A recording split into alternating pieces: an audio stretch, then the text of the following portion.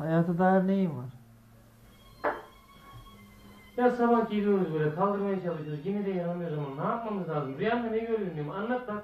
Daha sıcak sıcağına taze taze fırından çıkmış gibi anlat. Rüyamda. Evet. Rüyamda şimdi şeye gittim. E, e, bir randevu evine.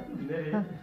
Abi bırak rüya görüyor musun sen o zaman? Ta, rü- rüya randevu evine gittim. Randevu evinde arkadaşlarla birlikte bir şeye girer bir alem yapalım dedim. Ondan sonra tam kapıyı 49 numaraydı. Vurdum kapıyı bir açtı. Baktım sen. Ya Allah Allah. Bilimlere bak ne ya. Bir insan. Hakikaten rüya görüyor musun sen böyle? He. Ne ya ne nasıl böyle şey mi? Güzel bir adam yoksa böyle korkutucu mu? He? Vallahi ne bileyim ya. Korkutucu rüya da görüyorum, güzel rüya da görüyorum. Ben rüyanın kralını görüyorum. Bilinçaltında ne var mesela? Neler görüyorsun? Bi- Bilinçaltında ne var? Evet. Bil- Bilinçaltında her şey var. Ne mesela abi? Yolculuğu gördün mü mesela? bu? Texas'ta Dalton kardeşlerle eyleme gidiyorum. Ne yolculuğu? Nasıl o gün yolculuk yerken keyifli geçti güzel oldu mu senin? Güzel oldu tabii. E hadi kalk niye ne oldu sen niye kederlendin? Niye heyecanlandın? Ya niye sevinçtin? Sen ayrı trende ben ayrı kalır şarkısını dinledim ve kederlendim ben sana. Şu karıştır, şey mi karıştır? Kalkın diyorum yaşam enerjiniz olsun ya. Dışarıda dünya kadar insan var. Dışarıda dünya kadar hayat var. Kızlar var ne bileyim hayat devam ediyor. Kuşlar bile şu anda bak anladın mı?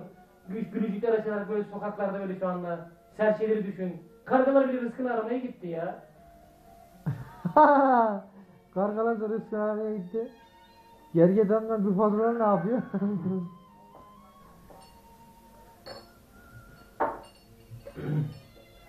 Biri sabahladı şu anda. Kusa kusa şey yap, evin içinde yatıyor. Bir hammal şu anda bak bugün para kazanmak için ana evi yine tekrar kü küpeyi kendi sırtına koyuyor. Düşün böyle bir hayatları ya. Hastanede bir insan var. Keşke kalkabilsem de bir çay içebilsem diye şey yapıyor. Sen şu anda çay içiyorsun keyifli. Şu bir anın değerini hiç anla ya. Arkadaşın gelmiş yanına. Sağlığı yerinde. Sıkıntıları, onun sıkıntılarına yara olmaya, merhem olmaya çalışacağız ya. Bir kere de böyle düşün hayatı ya. Ulan beni aç gelmiş yanıma dükkanım var dükkanına gideyim bir şeyler yapalım o çocuklar. Bugün yüzünü şey yapayım bak dün Berat şey yapıyordu bugün Mesut sana bir balık yapayım. Kardeşim bugün dün istemişsin canım bugün de istiyorsa yapalım kardeşim. Bir Böyle gönül almaya çalış ya.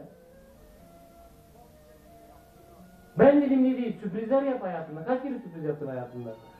Lokumu verdim, safranbolu. safranbolu lokumu verdim işte, daha ne istiyorsun satayım? 15 milyon kadar değerimiz yok mu dedim, ben de çıkarttım safranbolu lokumu Ya. Safranbolu lokumuyla alakası yok arkadaşım. Arkadaşına bir sürpriz yaptım. Bak bu sürpriz benim için. Ya, Senin için sürpriz değil miydi? Evet, benim gelmem. sürpriz mi? Bu ne sürpriz lan? Niye mi? Bekliyor muydun hiç? Bak ne kadar güzel neşeli geldin. Ben kapıcı çöpleri almaya geldim diye kaldım. Oğlum bak ne kadar güzel geldin. Hayır neler oluyor hayatta şarkısını söyledim. Bir daha rüya görüyor musun hakikaten? Görüyorum tabii oğlum, görmez miyim? Ne görüyorsun sen? Şu metresin önü bir uzun alan. 29 Ekim'de neler hissediyorsun abi? Yani senin için önemi var mı? Tabii. Ne? Gay olduğum gün.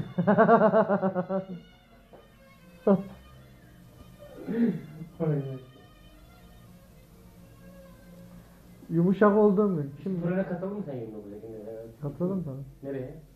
Nereye Vatan Caddesi? He? Vatan Caddesi. Gittin mi yani? Ne zaman? Hangi senede? 99 Kim düştü mesela? 2000 Ecevit zamanı. Ha? Ecevit zamanı.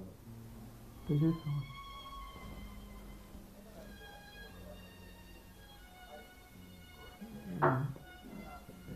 Çayını içeri bak güzel kendine gel. Sıcacık bak ha. Kendime mi geleyim?